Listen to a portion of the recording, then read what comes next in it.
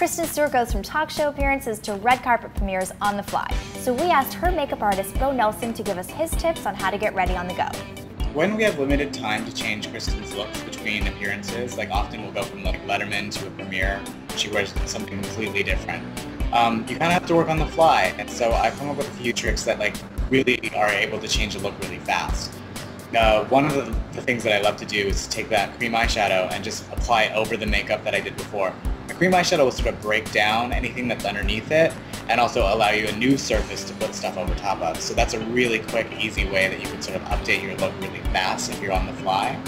Um, we will always take off the lip color and apply something different. Um, and, and then you can play with dimension. Again, highlighting and contouring can really change something a, different blush color or adding blush to something where it wasn't before and just um, keeping it really fresh and transparent. Thanks so much for chatting with us, Beau.